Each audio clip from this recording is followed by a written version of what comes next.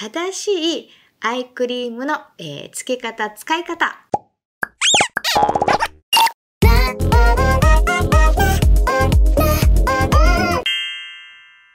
はい。50歳からの美顔は武器になるメイクアッププロデューサーのしょうこです。はい、皆さんこんにちは。え今回は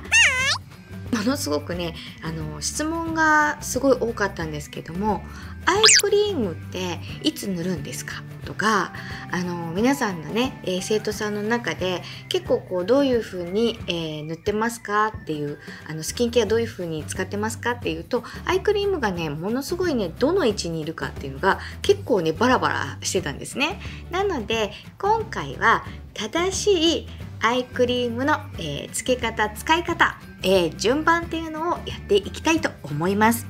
はいで皆さんね、あのー、目のケアって、えー、結構されてますか？うん、そんなに気にならないんだったらあの十分あの乳液だったりとかクリームで重ね付けしていただいたらいいんですけどもどうもね最近目のところがねシワが気になるわとかファンデーション塗った時にどうしても夕方にこうねひび割れた感じのねえ感じのあの目になってきたらもうそれはアイクリームでねちょっとこうスペシャルケアとして一つアイテムとしてね、え、取り入れてもらってもいいかなと思うんですけどもその使い方が間違ってると結構アイクリームって高いのであのもったいないですよね。なのでしっかりあの使い方をね覚えていただけるといいかなと思っております。アイクリームには効果が期待できるの？はい、えー、アイクリームっていうのはあのー、どんな時に使うかっていう時なんですけどもやはりねあの普通のクリームとどう違うのかってよく聞かれるんですがあのこの目の周りっていうのは皮膚がすっごい薄いんですね。あの頬に比べて3分の1って言われてますしまばたきをね、えー、して、えー、1万5,000回してこうシワになりやすいって言われていてこの老化顔の中で老化しやすい部分になるんですね。なのでその部分をしっかり普通のケアっていうかここのアイクリームを特化させたものを、えー、つけるとね、えー、目の老化が、ね、遅くなっていきますよっていうことで、えー、アイクリームっていうのが開発されているわけです。であのアイクリームの特徴としてはこの目の周りっていうのは皮脂の分泌も少ないですし乾燥しやすいということですごくね美容成分が濃厚に入ってるものが多いです。なので目の老化が気になる方はアイクリームっていうアイテムを使うといいんですね。アイクリームの順番は？はいアイクリームの順番ねよく聞かれるんですけども、えー、基本的には一番最後。ね、えー、化粧水塗って美容液塗って乳液あとクリームもナイトクリームもね、えー、の後ね、えー、つけていただけるといいんですね。なんでかっていうとあのアイクリーム結構ね硬いものがあの多いんですけどもこのピンポイントで使いたいんですね特にそこの場所に使いたいのでまたね上からクリームを乗っけてしまうと伸ばしちゃうことになってしまうので、えー、一番最後につけてあげるとより効果的になります。アイクリームの選び方。アイクリームもね今いろんな種類が出ててどれ選んでいいかわからない。っていう方がいらっしゃるんですけどもアイクリームの選び方としてね、えー、目のシワとかを、ね、予防するために使っていくもの。ね、もうシワとか乾燥とかもね、えー、出ちゃってちょっとシワっぽいわとかね、えー、シワがあるっていう状態をケアするのかそれで、えー、選び方が変わってきます。で特にあの表面的にちりめんじわって言って細かいシワっぽかったりする、ね、細かいシワが出てくるものはまず保湿コラーゲンとかエラスチンとかグリセリンとかヒアルロン酸とかそういった保湿成分がねたくさん入ってるものを選んであげるといいです。で今はあの厚労省の方で、えー、シワのね改善、ね、に効かれるよっていう効能を認めたものっていうのが2年前ぐらいからね出てるんですね。そうするとあの薬用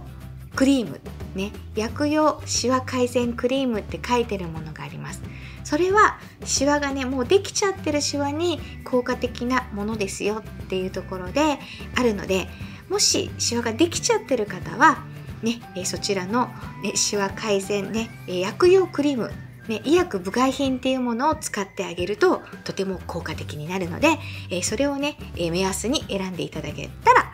あのー、すごく効果が高いと思われます。アイクリームの塗り方は？はい。アイクリームの塗り方やってみよう。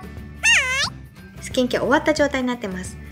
ねえー、まず導入のオイル塗って化粧水塗って、えー、クリームを塗った状態になります。でそこで、えー、このシワ改善の方のアルビオンのリンクルリピア、えリフト。こちらの方を、え私使ってます。これあの私もね最近こうやって笑った時にこのシワがやっぱ気になるんですね。なのでできちゃったシワを改善する時はね、え、皆さん分かりますかね？ここに薬用シワ改善って書いてあるの分かります？ね、えこの医薬部外品っていうものを選んであげるといいのでまずこちらの方をね使っていきます。でアイクリームのあの正しい付け方はこれそのまんまねつける状態のようになってるんですけども私はもう少しねちょっと硬いので手でちょっと温めてからこのぐらいですね。これをちょっと手で温めます。で、えー、手のね強い当たりの部分の人差し指と中指っていうよりはこの薬指の方を使っていきます、まあ、薬指と中指両方使う時もあるんですけど皆さんね最初に手が強い人はまずねこの薬指で塗ってあげるといいです。でそこをね、えー、まず3点とまぶたを置いていきます。ね置いていきます。でこの時にねこの指でゆっくり優しくですね。優しくこの眼輪筋ね眼輪筋って丸く筋肉があるので丁寧に丸く入れていきます。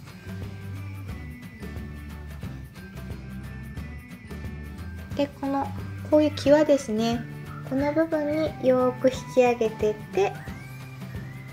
ちっちゃく回していきます。自分のね小じわができてるとこですねよーく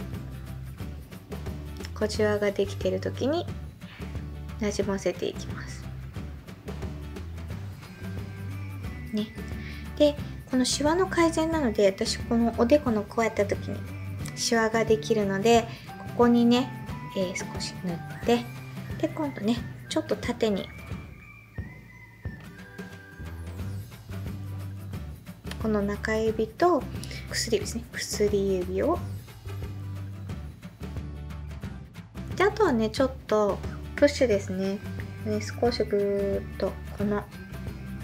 目の上を少し押さえていきます。ぐーっと。こめかみで目の下をちょっとピアノタッチって言って少しね軽くちょっと刺激します。優しくですよ優しくでこの状態がえ正しい、ね、アイクリームのえ効果的に使える使い方になります。ね、せっかくねあのアイクリームって結構ねお値段がするので、えー、ね、丁寧に、えー、効果的に使った方がいいと思いますので是非お試しください。はいいかがでしたか？はい皆さんね、えー、アイクリームの、あの塗り方合ってました？はい、もしね、あのー、ちょっと間違ってたわとか、あの、あ、こういう風につけたらいいのねって思っていただいたら、是非、えやってみてください。今日も最後まで見ていただいてありがとうございました。はい、よかったら、あの、高評価ボタン、えー、チャンネル登録の方をよろしくお願いいたします。では、またの動画でお会いしましょう。